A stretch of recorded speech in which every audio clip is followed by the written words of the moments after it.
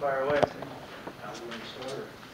Yeah, yeah, I mean, it, uh, it didn't unfold early the way we wanted to. We, we struggled, you know, in our kick game.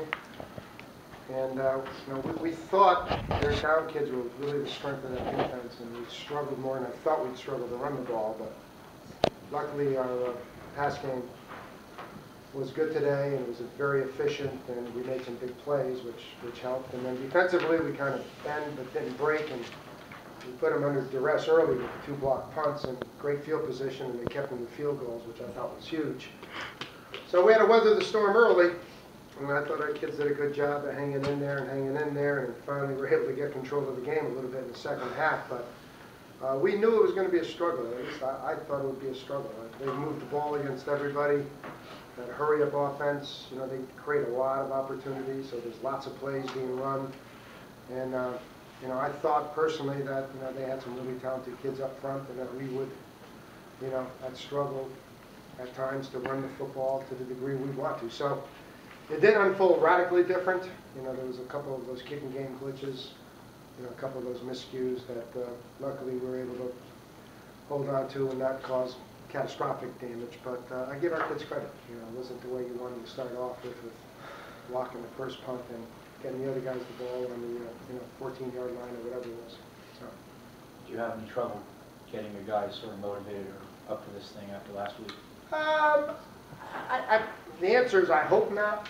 I mean, uh, you know, I've said that the schedule in a way helped us. Uh, You know, you're coming back home, you're coming to a homecoming game, you're, you're coming against a traditional rivalry, you know, so hopefully those were some factors that would help us, you know, and, and I thought, uh, you know, we'd be ready to play, you know, and then, you know, fortunately, uh, you know, we were, but obviously, uh, we were in uncharted territories after last week. We haven't had that feeling in a long time, so it kind of tested the uh, upper-class kids and their mettle and their ability to regroup, and, you know, fortunately for us, they did a nice job. Did you make any particular adjustments specifically to turn the game around in the second half? Uh, I don't know if we made adjustments. I, I mean, defensively, we made a couple. You know, we were so concerned about them running the outside stretch play that we were really probably giving up too many gaps inside. So they were doing a good job of countering that with the inside trap game. And we kind of made a couple of, of adjustments there to kind of negate some of that running attack in the second half. So I thought we did that. And then I thought second half, you know, we spread the field out a little bit more. That was our plan going in, throwing the ball and we're able to throw it effectively on early downs. And, you know, again, we were trying to get, everybody's had, you know, a couple big plays against them. And that was going to be the key. You know, if you watch the Brown game, they scored on big plays, Harvard scored on big plays. So, you know, we were hopeful that we could get a couple big plays. And that's the way, fortunately, it turned out for us.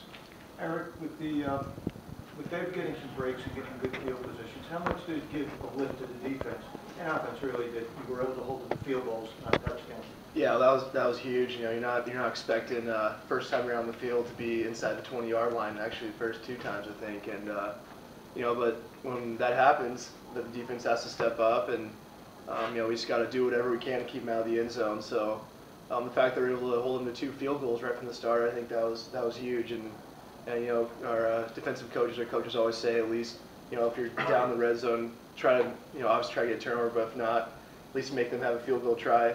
Um, so hopefully they might miss it, but uh, you know the kicker put them through, and uh, you know the thing is, you know field goals usually don't end up hurting you. Know, it's the touchdowns add up and do, and uh, we were able to keep them out of the end zone the whole day and keep them to field goal attempts, and our offense able to put the points up on the board. So that was, that was definitely huge. Ryan, it's nice to have a lead at halftime. You guys haven't had that in a while. Yeah, it was definitely good, but we weren't happy with it at all. I mean, we needed to be up by more than 14 to 9 against that team. So we went in with the confidence of the lead, but also knowing that we needed to do a lot more before the day was done. Erik, uh, Chuck Dibilio had about 95, almost 100 yards before the half, about 35 after. Was there anything different about how you guys played him, or Uh, you know, like Coach Back said, um, you know, we were pretty concerned with the outside run game, you know, the stretch plays, and uh, the first half they were pretty much creasing us right in the middle, and uh, so you know, a couple minor adjustments, changing the gaps up a little bit. Um, you know, I think just flying to the ball, um, we're getting you know three, four halves of the ball there in the second half, and um, you know, that's how we like to play run defense. So, um, you know, our first goal is always stop and run. And uh, first half, you know, we gave up way too much, and I think we're we gotta give it up to our D line, our linebackers, nickels. You know, we took pride in uh, stopping the run, so we did that the second half. Coach, with as good as they were against the run today, you had to pass the ball, obviously, to move it. Are you pleased with the way that the uh, pass offense responded? Yeah, oh yeah, yeah, I thought, I thought we were very efficient, we, you know, we probably should have called even more pass plays.